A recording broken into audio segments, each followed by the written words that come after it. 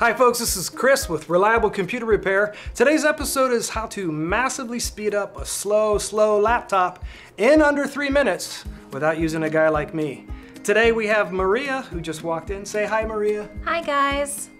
She's been a great sport. She's given us permission to record her. And what we're gonna do is take her laptop, and we're gonna clean it up for her, and speed it up for her. To do something like this on an old machine would just take too long, and no matter what we do here, it will never run as effectively as when first purchased.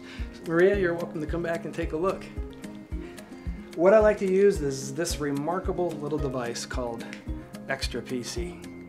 It's a USB stick, a normal USB drive, and on this drive is an entire operating system. All right, so we're gonna go ahead and open up Maria's laptop, power it up, and see how long it takes to boot. So here we go.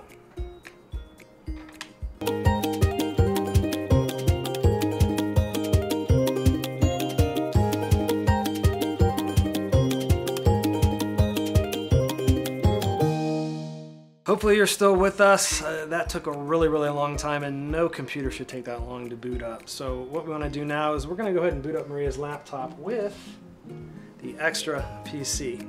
But before we do that, we are going to shut her computer down. While that's shutting down, we need to uh, find the USB port that we want to use for this little device. So on this side of the machine, here's one close by. So pop that in there.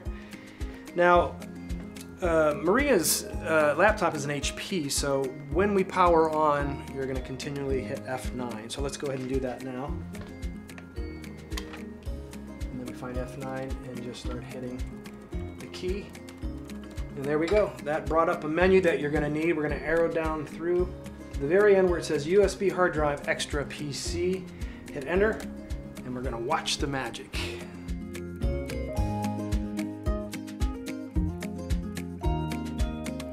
Boom, that was fast. Oh my gosh, that is such a difference. You know, Office always took forever. Wow, wow, that was so fast. Yes, it sure was. Well, folks, there you have it. Xtra PC, a simple device to use. Tune in next time for another episode of Simple Computer Fixes. This is Chris saying so long for now.